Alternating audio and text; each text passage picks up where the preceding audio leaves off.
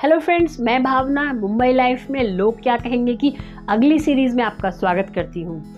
आज मैं आपको बताने जा रही हूँ लोग क्या कहेंगे कि शुरुआत कहाँ से होती है। आपने देखा होगा, बचपन से ही ये बातें लोग क्या कहेंगे हमारे दिमाग में भरी जाती है।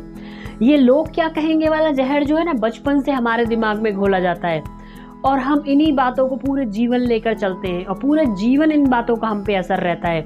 आपने देखा होगा कि हमारे जीवन में इन बातों का इतना इफ़ेक्ट पड़ता है कि हम उसे, जब तक हम लोग मरते तब तक उन चीज़ों को बचपन से लेके आगे तक लेकर चले जाते हैं और अपनी लाइफ बर्बाद कर लेते हैं। आखिरकार ये लोग क्या कहेंगे कि बातें, हम लोग ध्यान क्यों नहीं देते कि बचपन से हमारे दिमाग में क्यों भरी जा रही है?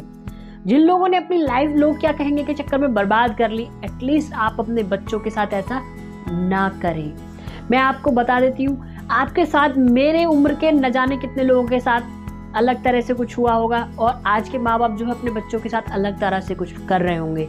बट लोग क्या कहेंगे वाली सिचुएशन जो है, आज भी ज़िंदा है और उस चीज़ को हम लोग फोकस कर रहे हैं। मैं जानना चाहती हूँ आखिर क्यों हम लोग उस चीज़ को फोकस कर रहे हैं? और बताना चाहती हूँ, आपको अच्छा एक छोटा सा एग्ज़ाम्पल देती हूँ। आपने देखा होगा, बचपन में कभी हम लोग, बच्चे लोग माँ बाप के साथ, अपने फैमिली फ्रेंड्स या मौसी, बुआ, चाचा, ताया के घर किसी के साथ, किसी के घर मिलने गए।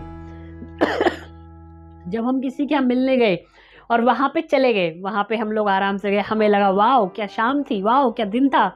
आ गई वहाँ पे इंजॉय करके कोल्ड ड्रिंक पी, अच्छे से चॉकलेट खाई, बिस्किट खाया, आराम से जूस वूस पिया, मस्त खेले, कूदे सोफे पे उनके उछले कूदे और हम घर आ गए। यहाँ तक तो सब ठीक है, पर उसके बाद क्या हुआ? ये बचपन की बात है, बचपन से शुरू हो रही है, उसके बाद क्या हुआ?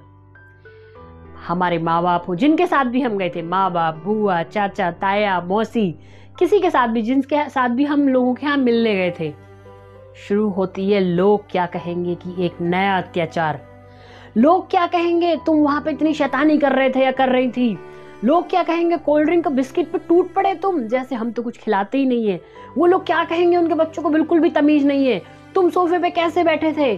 तुम उनके बच्चों के खिलौनों के साथ कैसे खेल रहे थे, तोड़ रहे थे, उछल रहे थे? और बिल्कुल ऐसी हरकतें कर रहे थे जैसे हम तो तुम्हें कुछ दिलाते ही नहीं है। सोचो, लोग क्या कहेंगे। अभी ये सिचुएशन बच्चे के दिमाग में आ गई। उसको तो पता ही नहीं था कि उसको किस तरीके से बिहेव करना है। उसको तो लगा खाना, पीना, बच्चों के साथ खेलना, उछलना, कूदना सब मिला, क्योंकि मम्मी पापा बिज़ी है या फिर रिलेटिव्स बिज़ी है बात करने में। बट उसका अंजाम क्या हुआ? घर आने के बाद उसको एक नई चीज़ों का सामना करना पड़ा। लोग क्या कहेंगे? ये एक छोटा सा उदाहरण है। मैक्सिमम लोगों के साथ में हुआ होगा ये। ये यहाँ से शुरुआत हुई। आगे न जाने और कितने चैप्टर्स आएँगे, वो हम उसके ऊपर बात करते रहेंगे अगले अगले ब्लॉग्स में। बट जनरली माँ बाप अपने बच्चों के दिमाग में यहीं से शुरुआत करते हैं। तो प्लीज़ आप अपने बच्चों के दिमाग में इस तरह का जहर बचपन से ना भरें, जो उनको एक डर की तरफ़ ले जाए। नेक्स्ट टाइम वो आपके सामने जाए या आपके साथ जाए या समाज को फेस करे तो उसके मन में ये डर ना रहे कि मैं जा तो रहा हूँ, ये कर तो रहा हूँ, फिर मेरे को डांट पड़ेगी, लोग क्या कहेंगे, अरे आंटी क्या बोलेगी, अंकल क्या बोलेंगे तो इसलिए मेरे को थोड़ा सावधान रहना है। तो वो जो बच्चा एक नेचुरल बचपन में था, वो नेचुरल नहीं है, फिर वो एकदम कॉन्शियस है। लोग क्या कहेंगे, इस बार मेरे को वो गलती नहीं करनी है। तो आप बचपन से ही बच्चों के दिमाग में ये चीज़ें सेट कर रहे हैं। ये जहर बच्चों के दिमाग में घोल रहे हैं। आगे आने वाले टाइम में स्टेप टू स्टेप चलते रहेंगे और जो कि आप लोग करते भी हैं। तो मेरी रिक्वेस्ट है जो लोग अपने बच्चों के साथ इस तरह की हरकतें कर रहे हैं उनको ऐसा ना रोक टोक करें। ये लोग क्या कहेंगे वाली सीरीज़ को बचपन से उनके दिमाग में ना भरें। अगले स्टेप में हम फिर आएँगे एक नया कंपैरिजन लेके। लोग क्या कहेंगे? जिन लोगों के साथ भी बचपन में ऐसी हरकत हुई है ना जिन लोगों की सच में उनकी आई I मीन mean, पिटाई हुई है डांट पड़ी है कुछ भी हुआ है तो प्लीज़ कमेंट करके ज़रूर बताएँ।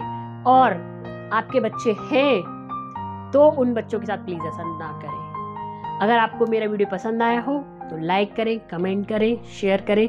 Thank you very much bye bye